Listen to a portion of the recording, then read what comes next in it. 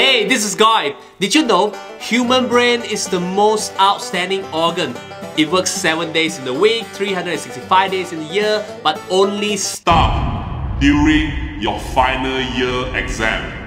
So what do you do when your brain stops during your final year exam? Just close your eyes and say this to yourself. This is a very interesting subject. I want to study just one more year.